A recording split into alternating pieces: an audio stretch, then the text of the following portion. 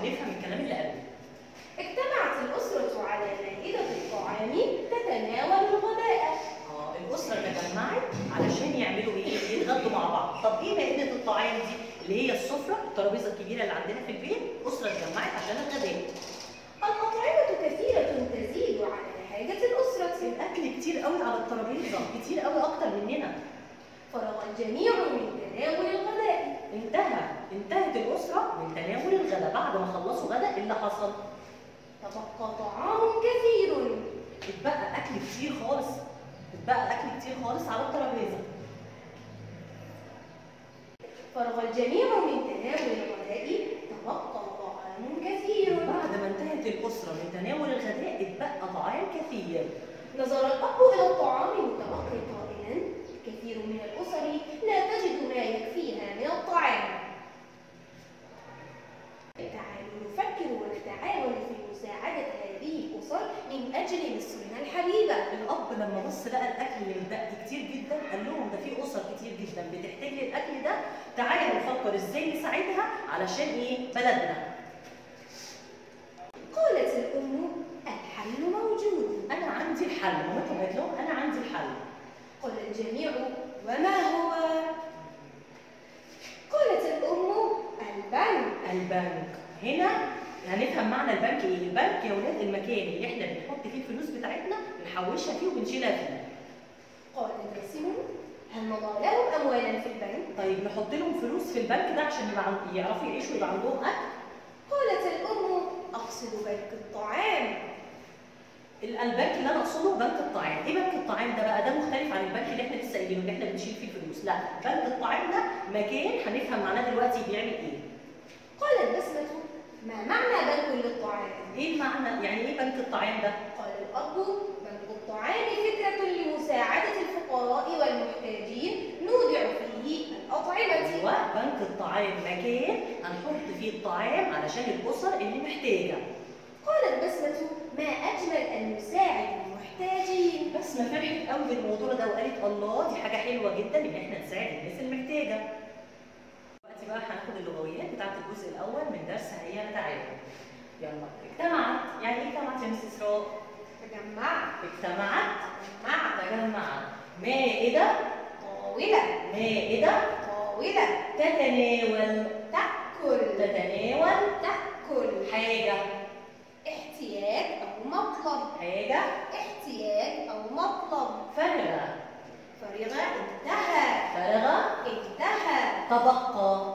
فضل منه. تبقى فضل منه تعالوا أقبلوا تعالوا أقبلوا مساعدة معاونة مساعدة معاونة نودع نترك نودع نترك أقصد أعني أقصد أعني فكرة اقتراح فكرة اقتراح نودع نترك نودع نترك المحتاجين. المفتقرين. المحتاجين. المفتقرين. هنتنقل بقى بعد كده للكلمة والمضاد.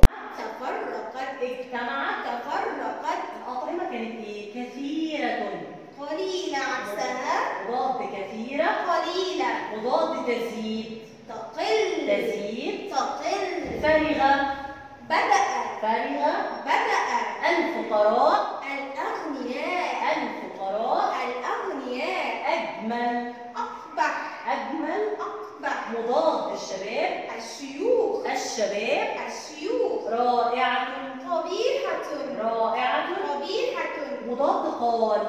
سكت مضاد قال. سكت مضاد ناحية نمود سعداء. أشقياء. المفرد والجمع.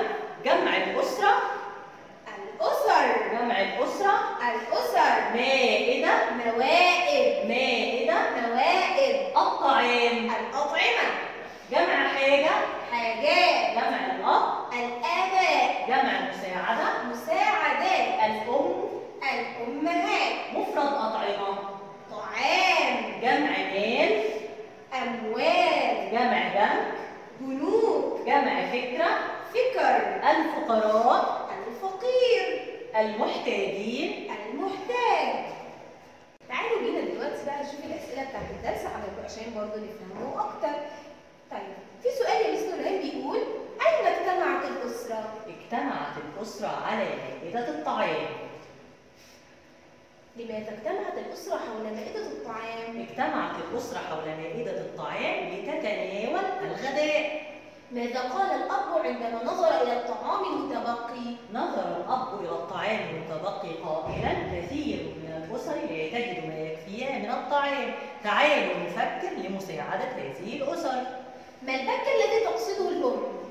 بنك الطعام البنك الذي تقصده الأم هو بنك الطعام ما فائدة بنك الطعام؟ بنك الطعام هو فكرة لمساعدة الفقراء والمحتاجين توضع فيه الأطعمة ما الأطعمة التي توضع في بنك الطعام؟ يوضع في بنك الطعام جميع أنواع الأطعمة تعالوا بقى يا ولاد نطلع اللي موجودة في الدرس. طيب تعالي كده يا مس نورهان نطلع حرف جر. يلا نفكر مع بعض نفكر ها في حرف جر على وفي من طيب طيب تعالوا كده نفكر ونطلع كلمة لها تنوين. تنوين إحنا عندنا التنوين ضم أو فتح أو كسر في كلمة كثيرة تنوين بالضم أو في كلمة كثير كثير فيها بالضم تنوين بالضم وقائلا. قائلا تنوين بالفتح. طيب مين يا ولاد نطلع الكلمات التي بها تنوين. زي إيه يا مس نورهان؟ عندنا تنوين بالضم كلمة كثيرة وكثير تنوين بالضم وفي قائلا تنوين بالفتح تعالوا بينا نفكر كده ونطلع من الجزء ده أسلوب نفي نفكر في أسلوب النفي يا ولاد تعالوا نفتكره بسرعة. قلنا ليه أربع أدوات لا ولم ولن دول بيجي بعدهم فعل مضارع وما بيجي بعدها فعل ماضي. عندنا هنا أسلوب النفي لا تجد ما يكفيها من الطعام. أسلوب نفي بأداة لا. لأن بعده إيه؟ فعل مضارع. طب يا مس نورهان في أسلوب أمر أسلوب أمر نفكر كده ونطلع. هو تعالوا نفكر تعالوا نفكر أسلوب أمر هنكمل بقى استخراج الظواهر من الدرس. يلا يا مس إسراء عايزين ندور على أسلوب استفهام. أسلوب استفهام؟ شكله إيه؟ بيبدأ بإيه؟ أسلوب الاستفهام ده كان بيبدأ بأداة. استفهام وبينتهي بعلامة استفهام يعني هو كله كده على بعضه عبارة عن سؤال. فين السؤال اللي هنلاقي أسئلة كتير قوي موجودة في الدرس. زي ها؟ آه أهي هاد وما هو؟ أيوه ده أول واحد. في أسئلة تاني؟ في اسلوب استفهام كمان؟ آه تعالوا كده نفكر. آه أهي. هل وضعوا لهم اموالا في البنك. برافو طيب وفي تاني. ها نفكر. فكر. ما للطعام طيب عايزين نستخرج آه... تعالي بقى بينا يا مس اسراء نستخرج أسلوب تعجب. أسلوب تعجب؟ آه، إذا كان بيبتدي بايه أسلوب تعجب. آه كان بيبتدي بمادة تعجبية وبينتهي بعلامة تعجب. طيب تعالوا نشوف فين هو. آه آه اهو ما أجمل أن نساعد طيب تعالي يا مس اسراء ندور على جملة إسمية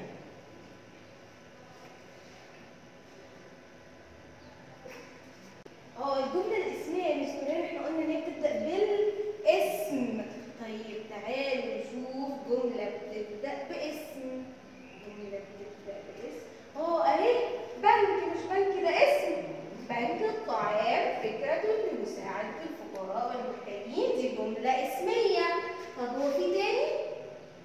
لا خلاص مفيش تاني هما دول بس طيب ممكن يا مس اسراء اخر حاجة بقى هنختم بيها. عايزين نستخرج كلمة فيها لام شمسية. لام شمسية؟ آه هي اللام الشمسية طب برضه نفتكرها. اللام الشمسية كانت إيه؟ بيبقى فيها إيه؟ تنطق ولا؟ إحنا اتفقنا إن اللام الشمسية تكتب ولا؟ مين اللي واخد مني وتسكت